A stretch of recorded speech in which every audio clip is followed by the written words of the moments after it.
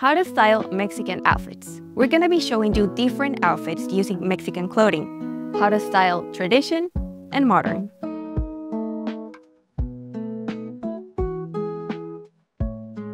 This monochrome outfit is perfect for a casual day.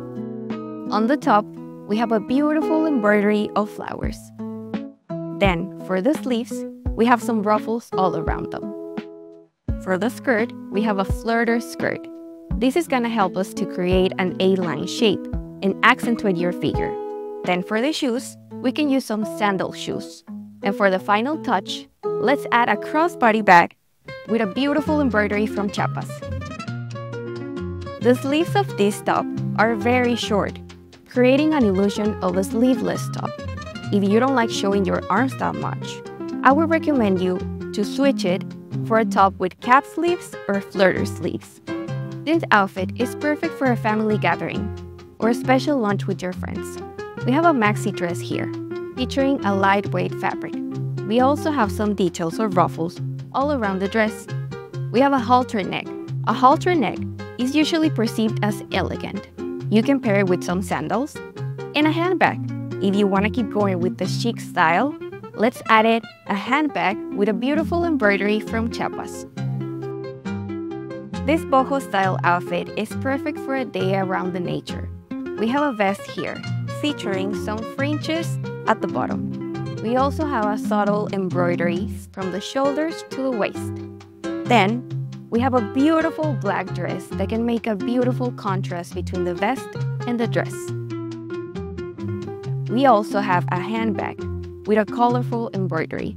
You can pair this with a pair of leather sandals. If you don't feel like wearing a dress, you could also wear this vest with some jeans and a top. If you're looking for real Mexican bags and Mexican dresses, you can find them at fashioncornerla.shop. Our products come from Veracruz, Chiapas, and Oaxaca. We connect with familias to bring them to you. This outfit is perfect for a beach day. The top has a round neckline and also some flirter sleeve. This fabric has a very interesting texture, elevating your look. For the shorts, we have an elastic waistline, making it very comfortable and adjustable.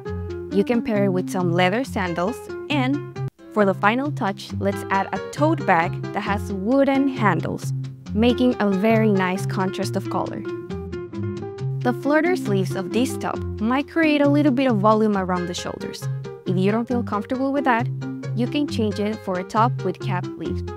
This outfit is perfect for when you want to explore the city. This jumpsuit has a square neckline and some white straps, making it very comfortable. We could also pair it with a very nice bag, featuring a lot of details such as leather tassels, closing strap, carving, and embossing. You could also pair this with some leather sandals. If you don't feel like wearing sandals, you could also pair it with some sneakers. And this was how to style Mexican outfits.